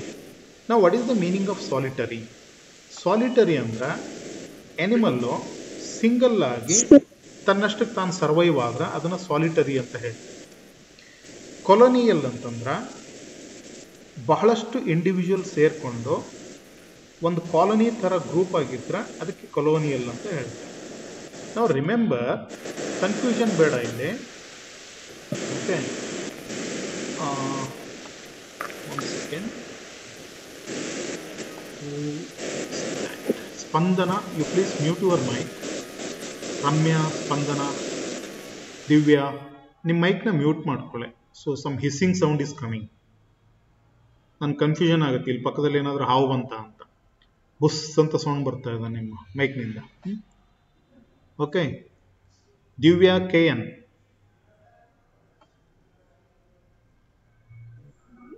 Mute your mic ನಿಮ್ಮ ಮೈಕ್ ಮ್ಯೂಟ್ ಮಾಡ್ಕೊಳ್ಳಿ. ಕ್ವಶನ್ ಕೇಳುವಾಗ ಆನ್ ಮಾಡ್ಕೊಳ್ಳೋಕೆ ಇಲ್ಲಿ ಏನಾಗುತ್ತೆ? ನಿಮ್ಮ ಬ್ಯಾಕ್ಗ್ರೌಂಡ್ ನಿಮ್ಮ ಬ್ಯಾಕ್ಗ್ರೌಂಡ್ ಸೌಂಡು ಇಲ್ಲಿ ಬಂದು ಡಿಸ್ಟರ್ಬ್ ಆಗುತ್ತೆ ಅದಕ್ಕೆ even Ramya you can also mute it you please mute it okay let's not waste the time so here you can see solitary or colonial ಅಂತ ಹೇಳ್ತಾರೆ. ಈಗ ಫಾರ್ ಎಕ್ಸಾಂಪಲ್ ಸಾಲಿಟರಿ ಮತ್ತು ಕಲೋನಿಯಲ್ದು difference ಹೇಳ್ಬಿಡ್ತೀನಿ ನಿಮಗೆ. ಅಮೀಬಾ ಇದೆಯಲ್ವಾ? ಇದನ್ನ ನಾವು ಸಾಲಿಟರಿ ಅಂತ ಹೇಳ್ತೀವಿ. ಅಂದ್ರೇನು? ಇದು ಒಂದೇ ಒಂದೇ ಸೆಲ್ನಿಂದ ಇರುತ್ತೆ? ಆಮೇಲೆ ಒಂದು ಅಮೀಬ, ಇನ್ನೊಂದು ಅಮೀಬ, ಒಂದಕ್ಕೊಂದು ಡಿಪೆಂಡ್ ಆಗಿರಲ್ಲ. ಇಲ್ಲಿ ಕನ್ಫ್ಯೂಸ್ ಮಾಡ್ಕೋಬೇಡಿ. In single area thousands of amoeba may be there that doesn't make a colonial that doesn't make colony solitary ಅಂದ್ರೆ ಒಟ್ಟಿಗೆ ಎಷ್ಟು ಬೇಕಾದಷ್ಟು ಇರ್ಬೋದು. ಆದರೆ ಇಂಡಿಪೆಂಡೆಂಟ್ ಆಗಿ ಒಂದು ಅಮೀಬಾ ತನಗೆ ಬೇಕಾಗಿರೋ ಫುಡ್ನ ತಾನೇ ಹುಡ್ಕೊಳ್ಳುತ್ತೆ ತನ್ನ ರಿಪ್ರೊಡಕ್ಷನ್ ತಾನೇ ಮಾಡುತ್ತೆ. ತನ್ನ ಎಕ್ಸ್ಕ್ರೀಷನ್ ತಾನೇ ಮಾಡುತ್ತೆ. ಸೊ ತನ್ನ ಎಲ್ಲ ಫಂಕ್ಷನ್ನ ತಾನು ಒಂದೇ ಮಾಡುತ್ತೆ. ಅವಾಗ ಅದನ್ನ ನಾವು ಸಾಲಿಟರಿ ಅಂತ ಹೇಳ್ತೀವಿ. ಕೊಲೋನಿಯಲ್ ಅಂದ್ರೆ ಏನ್ ಗೊತ್ತಾ? ಒಂದು ಇಂಡಿವಿಜುವಲ್ ಎಲ್ಲ ಕೆಲಸ ಮಾಡಕ್ ಆಗಲ್ಲ. ಸೊ ಅವಾಗ ಏನಾಗುತ್ತೆ? ಬಹಳಷ್ಟು ಇಂಡಿವಿಜುವಲ್ ಒಟ್ಟಿಗೆ ಸೇರ್ಕೊಂಡು ವರ್ಕ್ನ ಡಿವೈಡ್ ಮಾಡ್ಕೋತವೆ. ಬೆಸ್ಟ್ ಎಕ್ಸಾಂಪಲ್ ಯಾವುದು ಅಂದ್ರೆ ಒಂದು ಓಲ್ವಾಕ್ಸ್ ಅಂತ ಇದೆ. ಆಕ್ಚುಲಿ ಇದನ್ನ ನೀವು ಬಾಟ್ನಿನಲ್ಲೂ ಕಲಿತೀರ. ಬಾಟ್ನಿ ಅವರು ಇದನ್ನ ಪ್ಲಾಂಟ್ ಅಂತ ಹೇಳ್ತಾರ. ನಾವು ಇದನ್ನ ಎನಿಮಲ್ ಅಂತ ಹೇಳ್ತೀವಿ. ಯಾಕೆಂದ್ರೆ ಇದರಲ್ಲಿ ಕ್ಲೋರೋಪ್ಲಾಸ್ಟ್ ಇರುತ್ತೆ. It is capable of showing photosynthesis ಅದಕ್ಕೆ ಬಾಟ್ನಿನವ್ರು ಏನಂತಾರೆ, ಇದು ಪ್ಲಾಂಟ್ ಅಂತ. ನಾವು ಇದನ್ನ ಎನಿಮಲ್ ಅಂತ ಯಾಕೆ ಹೇಳ್ತೀವಿ ಅಂದ್ರೆ, ಇದಕ್ಕೆ ಫ್ಲಾಸೆಲ್ಲ ಇರುತ್ತಾ, ಇದು ಎನಿಮಲ್ ತರ ಆ ಕಡೆ ಈ ಕಡೆ ಎಲ್ಲ ಮೂವ್ ಆಗುತ್ತೆ, ಅದಕ್ಕೆ ನಾವು ಇದನ್ನ ಎನಿಮಲ್ ಅಂತೀವಿ. That is a different story so I have give I have shown you two examples amoeba which is solitary means on a single animal is capable of doing all the necessary functions, whereas colony is made up of many individuals okay? Colony is made up of many individuals and they share the work. ಈಗ for example ಇಲ್ಲಿ ನೋಡಿ, ಇದು ವಾಲ್ವಾಕ್ಸ್ ಇದೆಯಲ್ವಾ? ಇಲ್ಲಿ ಒಂದೊಂದು dot ಏನಿದೆಯಲ್ವಾ? ಈ ಡಾಟ್ಗಳು ಒಂದೊಂದು cell ಇದೆ. ಇಲ್ಲಿ ಒಳಗಡೆ ಏನು ದೊಡ್ಡ ದೊಡ್ಡದಾಗಿ ನಿಮಗೆ ಸ್ಪೆರಿಕಲ್ ಕಾಣ್ತಾ ಇದಾವಲ್ಲ, ಅವು ಆ್ಯಕ್ಚುಲಿ ಗೋನೋಜಾಯ್ಡ್ಸ್ ಅಂದ್ರೆ ಏನು? Gono means reproductive cells so ಇಲ್ಲಿ ಇದರಲ್ಲಿ ಬಹಳಷ್ಟು ಸೆಲ್ಸ್ ಇರ್ತವೆ. ಈ ಸರ್ಫೇಸ್ನಲ್ಲಿರೋ ಸೆಲ್ಲು ಇದು ಫುಡ್ನ ಕ್ಯಾಪ್ಚರ್ ಮಾಡಿದ್ರೆ ಒಳಗಡೆ ಇರೋ ಸೆಲ್ಲು ಫುಡ್ನ ಡೈಜೆಸ್ಟ್ ಮಾಡೋ ಫಂಕ್ಷನ್ ಮಾಡುತ್ತೆ. ಸರ್ಫೇಸ್ನಲ್ಲಿರೋ ಸೆಲ್ಲು ಲೋಕೋಮೋಷನ್ ಕೆಲಸ ಮಾಡುತ್ತೆ. ಅಂದ್ರೆ ಮೂವ್ ಆಗೋದು. ಒಳಗಡೆ ಇರೋ ಸೆಲ್ಗೆ ಲೋಕೋಮೋಷನ್ ಫಂಕ್ಷನ್ ಇರಲ್ಲ. So they have divided okay we call it as division of labour ಕೆಲಸನ ಹಂಚ್ಕೊಳ್ಳೋದು. ಅದು ಯಾವಾಗಲೂ ಹಾಗೆ. ಒಂದು ದೊಡ್ಡ ಆರ್ಗನೈಸೇಷನ್ ಇತ್ತು ಅಂದ್ರೆ ಎಲ್ಲರೂ ಎಲ್ಲ ಕೆಲಸ ಮಾಡೋಕ್ಕಾಗಲ್ಲ. Okay they are going to divide the work ನೀನು ಈ ಕೆಲಸ ಮಾಡು, ನಾನು ಈ ಕೆಲಸ ಮಾಡ್ತೀನಿ ಅಂತ ಒಟ್ಟಿಗೆ ಎಲ್ರಿಗೂ ಲಾಭ ಆಗುತ್ತೆ ಆ ಥರ. So here in this colony, all the individual, many individuals come together and make a colony and they share the work. That is colonial. ಒಂದು ಸಿಂಗಲ್ ಎನಿಮಲ್ಲು ಬೇರೆ ಯಾವ ಎನಿಮಲ್ ಮೇಲೂ ಡಿಪೆಂಡ್ ಆಗದೇನೆ, ತನ್ನ ಫುಡ್ ತಾನೇ ಸರ್ಚ್ ಮಾಡೋದು, ತಾನೇ ಕ್ಯಾಪ್ಚರ್ ಮಾಡೋದು, ತನ್ನ ಎಕ್ಸ್ಕ್ರೀಷನ್ ತಾನೇ ಮಾಡೋದು, ಈ ಥರ ಎಲ್ಲ ಮಾಡಿದರೆ ಅದು ಸಾಲಿಟರಿ ಅಂತ ಹೇಳ್ತೀವಿ. In protozoa we find both solitary and colonial type of organisms fine okay that's about the first character card solitary and colonial in nature next body symmetry I think you already understood this ಇನ್ನೊಂದು ಟಾಪಿಕ್ನಲ್ಲಿ ನಿಮ್ಗೆ already ಹೇಳಿದ್ದಾರೆ. Symmetry body symmetry spelling ಸ್ವಲ್ಪ careful ಆಗಿದೆ ಇನ್ನೊಂದು symmetry ಅಂತ word ಇದೆ ಇಂಗ್ಲಿಷ್ನಲ್ಲಿ. C E M E T A R Y cemetery ಅಂದ್ರೆ ಅದು ಸ್ಮಶಾನ ಅಂತ ಆಗುತ್ತೆ. ಗೋರಿ ಅಂತಿರಲ್ಲ ಆ ಥರ. ಇಲ್ಲಿ ಬಾಡಿ ಸಿಮೆಟ್ರಿ ಅಂದ್ರೆ ಬಾಡಿ ಆರ್ಗನೈಸೇಷನ್ ಒಂದು ಅನಿಮಲ್ನಲ್ಲಿ ಬಾಡಿ ಪಾರ್ಟ್ಸ್ ಯಾವ ಥರ ಆರ್ಗನೈಸ್ ಆಗಿದೆಯೋ ಅದನ್ನು ನಾವು ಬಾಡಿ ಸಿಮೆಟ್ರಿ ಅಂತ ಹೇಳ್ತೇವೆ. Here the symmetry may be asymmetrical ಈಗ ನೋಡಿ ಪ್ರೋಟೋಸುವಾ ಅದರಲ್ಲಿ ಅಮೀಬಾ ಇದೆಯಲ್ಲ ಅಮೀಬಾಗೆ ಡೆಫಿನೆಟ್ ಶೇಪೇ ಇಲ್ಲ. ಇದನ್ನ ನಾವು ಅಸಿಮೆಟ್ರಿಕಲ್ ಅಂತ ಹೇಳ್ತೇವೆ. ಇನ್ನು ಕೆಲವೊಂದಿಷ್ಟು ಬರ್ತವೆ. Here I can show you sorry I have not given any example anyway bilateral symmetry ಅಂತ ಬರುತ್ತೆ. ಕೆಲವೊಂದಿಷ್ಟು ಪ್ರೋಟೋಸೋವಾದಲ್ಲಿ ನಿಮಗೆ ಬೈಲ್ಯಾಟ್ರಲ್ ಸಿಮೆಟ್ರಿ ಬರುತ್ತೆ. ಇನ್ನೊಂದಿಷ್ಟರಲ್ಲಿ ರೇಡಿಯಲ್ ಅಥವಾ ಸ್ಪೆರಿಕಲ್ ಇಲ್ಲೇ ಇದೆ. ವೋಲ್ವಾಕ್ಸ್ ಇದೆಯಲ್ಲ ಇದು ಎಕ್ಸಾಂಪಲ್ ರೇಡಿಯಲ್ ಮತ್ತು spherical type of body ಶೇಪ್ಗೆ so the body shape is so many different in protozoa we find asymmetrical animals we find bilaterally symmetrical organisms we find radially symmetrical organisms, and we find spherically symmetrical so bilateral symmetry ಅಂದ್ರೆ ಏನು? Radial symmetry ಅಂದ್ರೆ ಏನು? Spherical symmetry ಅಂದ್ರೆ ಏನು ಅಂತ ಇನ್ನೊಂದು ಕ್ಲಾಸ್ನಲ್ಲೇ ನಿಮ್ಗೆ ಹೇಳ್ತಾರೆ, ಅದೇ ಬಾಡಿ ಆರ್ಗನೈಸೇಷನ್ ಸಿಮೆಟ್ರಿ ಎಲ್ಲ ಬರುತ್ತಲ್ಲ, ಅಲ್ಲಿ ಡೀಟೇಲ್ ಆಗಿ ಸ್ಟಡಿ ಮಾಡ್ತೀರ okay so that's about the symmetry okay ನಾವು ನೆಕ್ಸ್ಟ್ ಮತ್ತೆ ಒಂದಿಷ್ಟು ಕ್ಯಾರೆಕ್ಟರ್ನ ಸ್ಟಡಿ ಮಾಡಬೇಕು. So I just want to have some discussion right ಈ ಆನ್ಲೈನ್ ಕ್ಲಾಸ್ನಲ್ಲಿ ಡಿಸ್ಕಷನ್ ಇಲ್ಲದೆ ಸುಮ್ಮನೆ ಮುಂದಕ್ಕೆ ಹೋಗ್ತಾ ಇರತ್ತಾ? That is very boring for me so therefore I just want to ask you questions and now my question is what is symmetry please tell me somebody when the plane pass pass into the body ನಾನು ಕೇಳಿಸ್ತಾ ಇಲ್ಲ ಇನ್ನೊಂದು ಸಾರಿ ಹೇಳಿ please ಹಾಂ when the plane pass into the body okay any other definition The, the body cut into equal parts. Okay ಮತ್ತೆ. ನಾ see my question is very simple symmetry ಅಂದ್ರೆ ಏನು? ಸಿಮೆಟ್ರಿ ಅಂದ್ರೆ how the body parts are organised ಒಂದು ಎನಿಮಲ್ನಲ್ಲಿ body parts ಯಾವ ತರ organise ಆಗಿರುತ್ತಲ್ಲ ಅದನ್ನ ನಾವು ಬಾಡಿ ಸಿಮೆಟ್ರಿ ಅಂತ ಹೇಳ್ತೀವಿ. ಕರೆಕ್ಟ್ ಅಲ್ವಾ? ದಟ್ ಇಸ್ ಸಿಮೆಟ್ರಿ ನಾವು ಹಿಯರ್ ಸ್ವಲ್ಪ ಡೆವಿಯೇಟ್ ಆಗೋಣ. Okay let us leave the class ಅಂದರೆ ನೀವು ಮೀಟಿಂಗ್ ಬಿಟ್ಟು ಹೊರಗೆ ಹೋಗ್ಬೇಡಿ. Okay I still have five minutes see I miss regular classes ನೀವೇನಾದರೂ ಕಾಲೇಜ್ಗೆ ಬಂದು ರೆಗ್ಯುಲರ್ ಕ್ಲಾಸ್ ಅಟೆಂಡ್ ಮಾಡಿದರೆ ಗೊತ್ತಾಗ್ತಾ ಇತ್ತು. ಏನಂದರೆ, ನಾನು ನನ್ನ ಕ್ಲಾಸ್ನಲ್ಲಿ ಪಾಠ ಹೇಳೋದಕ್ಕಿಂತ ಸುಮ್ಮನೆ ಕತೆ ಹೇಳೋದೇ ಜಾಸ್ತಿ. ಸೊ ದೇರ್ ಫಾರ್ ನಾವು like you people I am also bored so therefore let me ask you some questions general questions ಈಗ ಸಿಮೆಟ್ರಿ ಬಗ್ಗೆ ಹೇಳಿದ್ರೆ ಯಾರೋ ಒಂದೆರಡು ಮೂರು ಡೆಫಿನೇಷನ್ ಹೇಳಿದ್ರೆ ನಾವು I have one very simple question ಈಗ ಈ ಸಿಮೆಟ್ರಿ ಡೆಫಿನೇಷನ್ ಹೇಳಿದ ಮೇಲೆ ನಾವು I want to ask you the meaning of another question like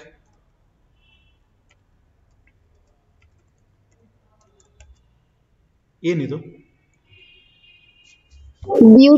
Beautiful can anybody define what is beautiful. Re translation ಬೇಡ ನೀವೆಲ್ಲ ಬುದ್ಧಿವಂತರು. ನಾನು ಕೇಳಿದ್ದು ಮೀನಿಂಗ್ ನಿಮ್ ಟ್ರಾನ್ಸ್ಲೇಷನ್ ಗೊತ್ತು. ನನಗೂ ಕನ್ನಡ ಚೆನ್ನಾಗೇ ಬರುತ್ತೆ? Even I write poem so I know what is beautiful ಅಂದ್ರೆ ಸುಂದರ ಅಂತ ನನಗೂ ಗೊತ್ತು. Okay I will I will I will make a statement like she is beautiful ಅಂತ ಹೇಳ್ತಾರೆ. ಯಾರೋ ನಿಮ್ಮ ಫೇವ್ರೆಟ್ ಹೀರೋಯಿನ್ ಇರ್ತಾಳೆ? ಶಿ ಈಸ್ ಬ್ಯೂಟಿಫುಲ್ ಅಂತಾರಲ್ಲ ಏನಂದ್ರ ಏನು what what actually your meaning say Something which like very pretty ಅಂತ. ಪ್ರಿಟಿ ಹ್ಞೂ. ಇನ್ನೊಂದು ನೀವು ಥೆಸಾರಸ್ಗೆ ಹೋಗ್ತಾ ಇದ್ರಿ ಇನ್ನು. ಅಲ್ಲ ರೀ ಈಗ ಒಂದು ಸಿಂಪಲ್ ಕ್ವಶನ್ ಅಪ್ಪ. ಹ್ಮ್ ಈಗ ಯಾರೋ ಒಬ್ರು ಇದಾರೆ ಲೆಟಸ್ ಒನ್ ಪರ್ಸನ್ ಇಲ್ಲೇ ನಮ್ಮ ಕಾಲೇಜ್ ಎದುರುಗಡೆ ಒಬ್ಳು ಪಾಪ ಯಾರೋ ಹೂ ಮಾಡ್ತಾ ಕೂತಿದ್ದಾರೆ ಹ್ಞೂ. ಇನ್ನೊಬ್ಳು ನಿಮ್ಮ ಫೇವ್ರೆಟ್ ಹೀರೋಯಿನ್ ಯಾರು? ಐಶ್ವರ್ಯ ರಾಯೋ? ಅವ್ರೆಲ್ಲ ಮುದುಕಿ ಆದ್ರು ಅನ್ಸುತ್ತಾ? ಹೊಸ ಹೀರೋಯಿನ್ಸ್ ನನಗೆ? ಹ್ಞೂ.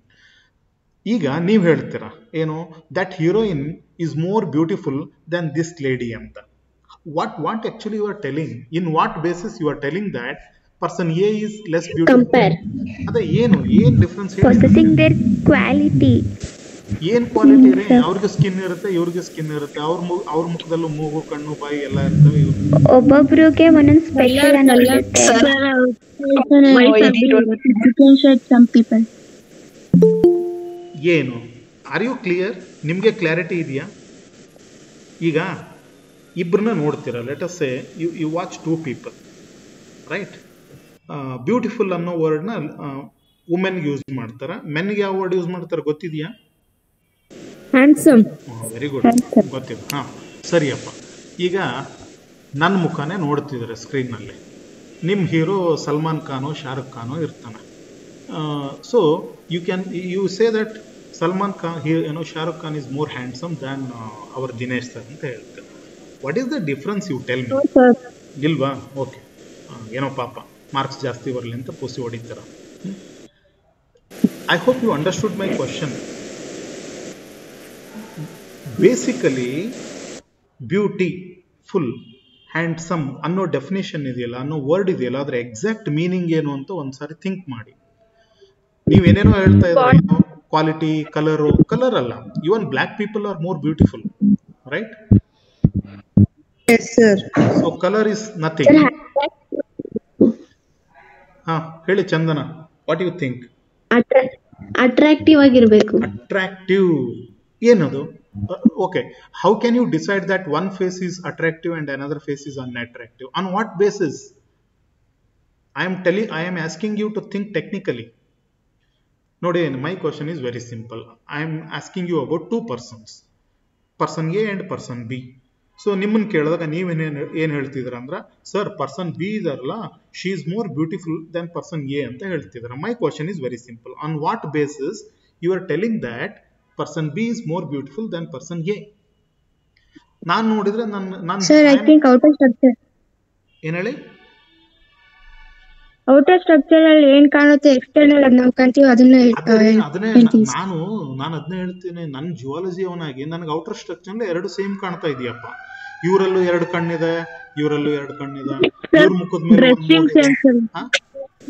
ಸರ್ ಹ್ಯುಮ್ಯಾನಿಟಿ ಹೇಗೆ ಏನ್ ಮಾತಾಡ್ತಾರೆ ಏನು ಅಂತ? ಸರ್ ಡ್ರೆಸ್ಸಿಂಗ್ ಸೆನ್ಸ್ ರಿಯಾಕ್ಟ್ ಮಾಡ್ತಾರೆ ಅನ್ನೋ ಹೇಗ್ ರಿಯಾಕ್ಟ್ ಮಾಡ್ತಾರೆ ಬೇರೆಯವ್ರ ಜೊತೆ ಅನ್ನೋದು ರೀ ಮಾತಾಡೋದಲ್ಲ ರೀ. ನಾನು ಹಿಂಗೆ ಬಸ್ನಲ್ಲಿ ಹೋಗ್ತಾ ಇದ್ದೀನಿ. I can see I have I am watching two girls sitting on bench in a bus stand and I can say that one girl is beautiful another one is not beautiful ಅವ್ರು ಮಾತಾಡೋದು ಅವ್ರ character ಅವೆಲ್ಲ ನನಗೇನು ಗೊತ್ತಿದೆ ತಲೆ? S dressing sense ಮೇಲೆ. You are getting my point so sir organs ಏನಿದೆ example ಈಗ ಕಣ್ಣು. ಹ್ಮ್. ಅದ್ರದ್ದು ಎದ್ದು ಆಕ್ಚುಯಲ್ ಸೈಜ್ ಏನಿದೆಯೋ? ಅಷ್ಟಿರ್ಬೇಕು. ಆಕ್ಚುಯಲ್ ಸೈಜ್ ಎಷ್ಟಿರ್ಬೇಕು ಹೇಳಿ. Of course you you you came very near by right so ಹಾಗಾದ್ರೆ ನಮ್ಗೆ ಎಷ್ಟು ದಿನ ಬ್ಯೂಟಿಫುಲ್ ಅನ್ನೋದು ಮಾತ್ರ ಗೊತ್ತಿತ್ತು. ಆದ್ರೆ ಬ್ಯೂಟಿಫುಲ್ ಅಂದ್ರೆ ಏನು ಅಂತಾನೆ ಗೊತ್ತಿಲ್ಲ ಅಲ್ವಾ? You don't know the meaning of beautiful ಸುಮ್ಮನೆ ಹೇಳ್ತಾ ಇದ್ರೆ. she is beautiful, I am beautiful, she is not beautiful. You don't know the exact meaning of beautiful. Let me tell you the answer. Okay? This is the secret, very simple which you don't know. Okay?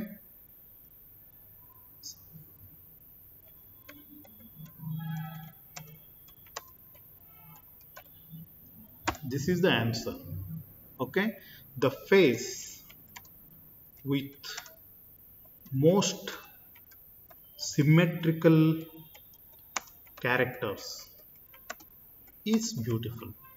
ಒಬ್ರು ಯಾರೋ ಕಣ್ಣು ಅಂತ ಹೇಳಿದ್ರಲ್ಲ, ಕಣ್ಣು correct size ಇರಬೇಕು ಅಂತ ಹೇಳಿದ್ರಲ್ಲ that is the nearest answer so symmetry ಅಂತ ಇರುತ್ತೆ. ಅದಕ್ಕೆ ಫಾರ್ಮುಲಾನು ಇದೆ ರೂಲ್ಸು ರೆಗ್ಯುಲೇಷನ್ಸ್ ಎಲ್ಲ ಇದಾವೆ. Okay you remember this so next time ನೀವು ಹೇಳಿದ್ರಲ್ವಾ, ಯಾರೋ ಒಬ್ರನ್ನ ನೋಡಿದಾಗ if you feel that that that person is very beautiful that means that person's face that person's body is symmetrical ಅಂದ್ರೇನು? ಅವ್ರ ಬಾಡಿನಲ್ಲಿ ಕಣ್ಣು, ಮೂಗಿಂದು ರೇಷಿಯೋ ಎಷ್ಟಿರಬೇಕು? ಅಷ್ಟಿದೆ. ಒಂದು ಫಾರ್ಮುಲಾ ಇದೆ. ಕಣ್ಣು ಇಷ್ಟ ಅಗಲ ಇದ್ರೆ ಮೂಗು ಇಷ್ಟು ಉದ್ದ ಇರಬೇಕು. ನಮ್ಮ ಮೌತ್ ಇಷ್ಟ ಅಗಲ ಇರಬೇಕು. ಹಣೆ ಇಷ್ಟ ಅಗಲ ಇರಬೇಕು. ಓಕೆ ಕಿವಿ ಇಷ್ಟು ಉದ್ದ ಇರಬೇಕು. ಇಷ್ಟೇ ದೂರದಲ್ಲಿ ಇರಬೇಕು. There are some formulas right so ಅದಕ್ಕೆ ನಿಯರೆಸ್ಟ್ ಫೇಸ್ ಯಾರ್ದಿರುತ್ತೋ ಅದು ನಮಗೆ ಪ್ರೆಟಿ ಅನ್ಸುತ್ತೆ. ಅದು ನಮಗೆ ಬ್ಯೂಟಿಫುಲ್ ಅನ್ಸುತ್ತೆ. ಅದು ವೇರಿಯೇಷನ್ ಆದ್ರೆ, ಯಾರೋ ಹೇಳಿದ್ರಲ್ಲ ಮೂಗ್ನ ಮುಖದಲ್ಲಿ ದೊಡ್ಡದಾಗಿ ಮೂಗ್ ಕಂಡು ಕಣ್ಣು ಇಷ್ಟಿಷ್ಟೇ ಇದ್ರೆ ಅದು ಪ್ರೆಟಿ ಅನ್ಸಲ್ಲ ಬ್ಯೂಟಿಫುಲ್ ಅನ್ಸಲ್ಲ. So I just wanted to discuss you about discuss with you about the meaning of symmetry right actually ಒಂದು ಜೋಕ್ ಇದೆ. ಏನ್ ಗೊತ್ತಾ? ಈ ರೋಬೋಟ್ ಬರುತ್ತಲ್ಲ, ನೀವು ನೋಡಿದ್ರೆ ಇಲ್ವಾ ಬೈಸೆಂಟೇನಿಯಲ್ ಮ್ಯಾನ್ ಅಂತ ಒಂದು ಮೂವಿ ಇದೆ. ಅದರಲ್ಲಿ ಒಂದು ರೋಬೋಟು ಯಾವುದು? ಮೇಲ್ ರೋಬೋಟು ಇನ್ನೊಂದು ಫೀಮೇಲ್ ರೋಬೋಟ್ ಹೇಳುತ್ತೆ. ಓಕೆ ಏನಂತ? ಯು ಆರ್ ಸೋ ಹ್ಯೂಮನ್ ಆದ್ರೆ ಏನ್ ಹೇಳ್ತಾರೆ ಹೇಳಿ? ನಮ್ಮ ಫಿಲ್ಮ್ನಲ್ಲಿ ಹೀರೋ ಹೀರೋಯಿನ್ಗೆ ಯು ಆರ್ ಸೋ ಬ್ಯೂಟಿಫುಲ್ ಅಂತ ಹೇಳ್ತಾರೆ. ರೋಬೋಟ್ ಏನ್ ಹೇಳುತ್ತಾ? ಯು ಆರ್ ಸೋ ಸಿಮೆಟ್ರಿಕಲ್ ಅಂತ ಹೇಳುತ್ತೆ. Okay you got it right yes sir so you try to understand this this is the difference between common person and a zoology person ಬೇರೆಯವ್ರಿಗೆ ಕಾಣೋದೇ ಬೇರೆ, ನಮಗೆ ಕಾಣೋದೇ ಬೇರೆ. ಯಾಕೆಂದ್ರೆ ನಾವು zoologist right so we see science right so this is what you must understand symmetry ಅಂದ್ರೇನು? ಒಂದಿಷ್ಟು ಪಾರ್ಟ್ಸು ಕರೆಕ್ಟಾಗಿ ಶೇಪ್ ಮತ್ತು ಸೈಜು ಪ್ರಪೋರ್ಷನೇಟ್ ಇದ್ರೆ, ಅವಾಗ ಅದು ಸಿಮೆಟ್ರಿಕಲ್ ಇರುತ್ತೆ. Anyway that's what I just wanted to discuss next ಕ್ಲಾಸ್ನಲ್ಲಿ ಮತ್ತೆ ಇದನ್ನೇ ಕಂಟಿನ್ಯೂ ಮಾಡೋಣ ಜನರಲ್ ಕ್ಯಾರೆಕ್ಟರ್ ಕಂಟಿನ್ಯೂ ಮಾಡೋಣ. Okay so if you have any questions up to this point you can ask me right remember my class will be like this only ನಾನು, ನನಗೆ ಬೇಜಾರಾಯಿತು ಅಂದ್ಕೂಡಲೇ ಆ ಕಡೆ ಈ ಕಡೆ ಡೆವಿಯೇಟ್ ಮಾಡ್ತೀನಿ ಬಟ್ ಆನ್ಲೈನ್ ಕ್ಲಾಸ್ನಲ್ಲಿ ಸ್ವಲ್ಪ ಕಷ್ಟ ಇದು. If it is offline class I would have done it more easily but still okay it's fine. Uh, if you have any question you can ask me. Uh, otherwise we can uh, uh, continue later. ಆಮೇಲೆ ನಿಮಗೆ ಇನ್ನೂ quiz ಅದನ್ನೆಲ್ಲ ಕೊಟ್ಟಿಲ್ಲ ನಾನು Google class ರೂಮ್ನಲ್ಲಿ so ಅದನ್ನು material study material ಆಮೇಲೆ ಕ್ವಿಜ್ನ ಇಮಿಡಿಯೇಟ್ಲಿ ಹಾಕ್ತೀನಿ. Okay so for few days I was busy you have any questions ಇದು ಸಿದ್ದು ಸಿದ್ದು ಅಂತ ವಿಡಿಯೋ ಆನ್ ಮಾಡಿದ್ರಲ್ಲ ನಿಮ್ಮ ಹೆಸರೇನು? ಫೇಸ್ ಅರ್ಧ ಬರ್ತಾ ಇದೆ because the name is different yes any questions no question No, sir. Fine okay before sir I animal close ಕಳಿಸಿ ಹಾಂ ಯಾರು ಅನಿಮಲ್ ಕಿಂಗ್ಡಮ್ನ ಇನ್ನೊಂದ್ಸಲ ವಿಡಿಯೋ ಕಳಿಸಿ ಎನಿಮಲ್ ಕಿಂಗ್ಡಮ್ದು ವಿಡಿಯೋ ಕಳಿಸ್ಬೇಕಾ ಯಾವ ಎನಿಮಲ್ ಅಂದ್ರೆ ಮೊದಲನೇ ಕ್ಲಾಸ್ದಾ ಎಸ್ ಸರ್ ಪ್ರತಿ ಕ್ಲಾಸ್ ವಿಡಿಯೋನ ಹಾಕಿ ನಿಮ್ಗೆ ಲಿಂಕ್ ಹಾಕ್ತೀನಿ ಅಲ್ಲಿ. ಆಲ್ಮೋಸ್ಟ್ ಹಾಕಿದ್ದೀನಿ ಅನ್ಕೋತೀನಿ. ಫಸ್ಟ್ ಸೆಮ್ ಹಾಕಿದ್ದೀನಿ ನಾನು. I will put it. ಆ ವಿಡಿಯೋಸ್ ಆಮೇಲೆ ಬರುತ್ತಾ? That I will put it okay sir remember you must go for a text book actually right so ನೀವು ಟೆಕ್ಸ್ಟ್ ಬುಕ್ ತಗೋಬೇಕಾಗತ್ತಾ? ಇಲ್ಲೊಂದು ಟೆಕ್ಸ್ಟ್ ಬುಕ್ ನಾನು ರೆಫರ್ ಮಾಡ್ತೀನಿ?